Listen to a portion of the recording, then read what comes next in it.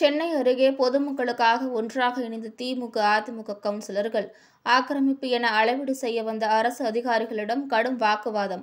சென்னை கோயம்பேடு அருகே நெற்குன்றம் வரலட்சுமி நகர் பகுதியில் பிரபல தனியார் சூப்பர் மார்க்கெட் உரிமையாளர் நான்கு கிரவுண்ட் காலிமணி வாங்கியுள்ளார்.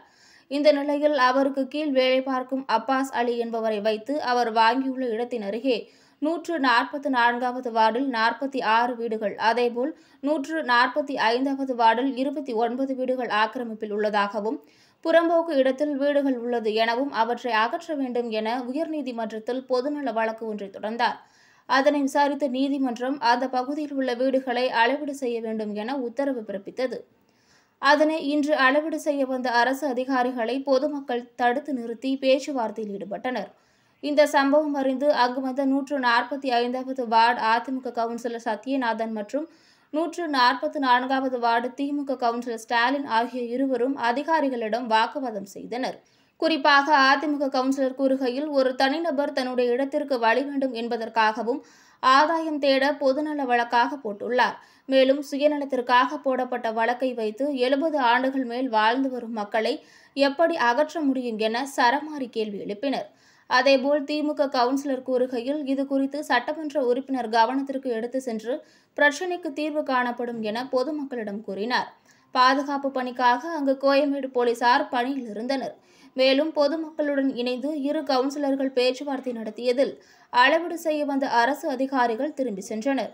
திமுக மற்றும் அதிமுக இரு கவுன்சிலர்களுக்கும் ஒன்றிணைந்து பொதுமக்களுக்காக களத்தில் இறங்கியதும் இரு எதிரெதிர் கட்சியாக இருந்தாலும் மக்கள் பிரச்சினையில் ஒன்றாக தலையிட்டு அதிகாரிகளிடம் வாக்குவாதம் செய்து அரசு அதிகாரிகள் அளவீடு செய்யாமல் திரும்பி சென்ற சம்பவம் பெரும் பரபரப்பை ஏற்படுத்தியுள்ளது. கோர்ட்டில் சிங்கிள் பெஞ்சில் தான் அவர் இந்த ஆர்டர்ஸ் வாங்கியிருக்காரு. நம்ம டபுள் பெஞ்சில் சூட்டு ஃபைல் பண்ணி இந்த நாற்பத்தாறு பேரும் அந்த இருபத்தொம்போது பேரும் டபுள் பெஞ்சில் சூட்டை ஃபைல் பண்ணிட்டு கோர்ட்டில் நம்ம அப்பீலில் தான் இருக்கணும். இது பொது நலத்தோடு போடப்பட்ட வழக்கு கிடையாது. சுயநலத்துக்காக இவருக்கு வழி வேண்டி இவர் மது அந்த பக்கம் வழி எடுத்துட்டாருன்னா இவரோட சொத்து ஐம்பது லட்ச ரூபாய்க்கு வாங்கின சொத்தை ரெண்டு கோடிக்கு இப்போ இருக்கிறவங்க அதுக்காக எவன் எக்கேடு கெட்டு போய் அவன் தாலி யாருனாலும் பரவாயில்ல கூட்டுங்களை காலி பண்ணி கொடுத்துடணும். வட்டார நீதிபதி அவர் தான் நம்ம சப்ஜெக்ட் பேசணும்னா அப்படியே தலைமையில வட்டாட்சியர் போய் சந்திக்கணும் அப்படி இல்லையா? அவங்க அட்வொகேட் அப்பா சரி மேல நீங்க ஒரு கிரிமினல் கிரிமினல் வழக்கு கொடுங்க அவர் மேல. வந்து கேஸ் வந்து ஆர்டர் காத்து கொடுத்துருக்காங்க ரெண்டாயிரத்தி பத்தொம்போதில் தான் ரெண்டாயிரத்தி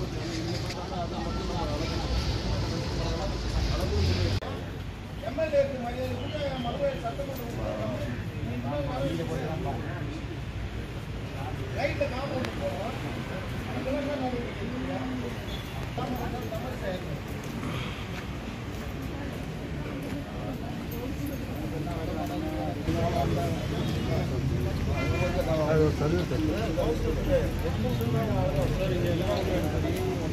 கீழே இருந்து மேலே போக மாட்டாங்க.